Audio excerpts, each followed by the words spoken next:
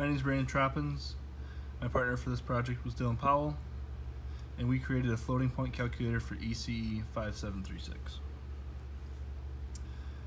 The objective of this pro final project was to create a floating point calculator that supported addition, subtraction, and multiplication functions.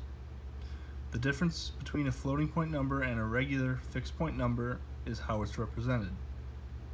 The first bit is sign, which can be 0 or 1, which represent positive or negative. The next 8 bits are the exponent value. The remaining bits are the mantissa. This is this makes up the real number it is, multiplied by the exponent value to get your final number. This is the block diagram of our system. You can see it's create it's split up into three different sections. The red is the floating point calculator block, the green is the custom peripheral block, and the blue is the AXI4 Lite block. Data starts on the left going into the SAXI-W data signal. Three 32-bit words are fed into number one, num2, num, and mode. Num2 is the number on the right side of the operation. Num is the number on the left side of the operation. And mode is the operation which is addition, subtraction, or multiplication. From there, the two nums are fed into all six registers. The multiply the mode supplies a signal to the multiplexer to choose which two registers to enable. From there, the signals are sent, the data is sent into the uh, calculation blocks, which are EX add sub, EX add sub, or my mult. The first EX add sub is addition, the second one is subtraction. Um, the mode signal is used again to select which uh, uh, function block to output data from. It is then sent into a buffer register, which is controlled by the FSM. That is then sent to the final register and then outputted.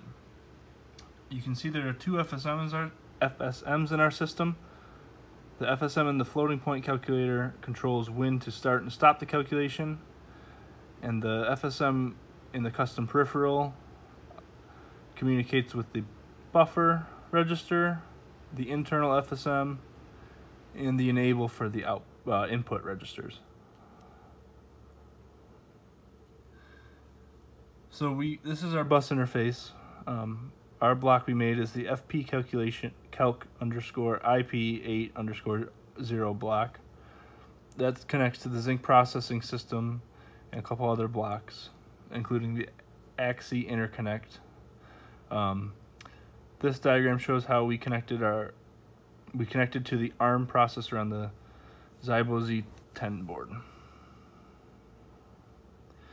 This is our software routine we used on the SDK terminal SDK. First of all, we have to define the address base. Then we write a 32-bit word to slave register 0, which represents the first number. We write a second 32-bit word to slave register 1, which is the second number. We write a third 32-bit word to the second slave register, which represents the operation, add, subtract, or multiply. Then we display the calculated value to the output register, which is register 3. this is the one that's after the buffer. All of our results were read over the SDK terminal in, uh, using UART. This FSM is the internal, it's in the um, calculating floating point calculator block. We started out with three states, but quickly found out we needed more um, to match up our timing with uh, we had to match up our timing so that we could read the right data at the right time. Um, we had a problem where we were reading data too quickly or too late. Um, when, it, when data was in the red, uh, final register. And from here, I'll hand it over to Dylan to talk about some of the problems we incurred.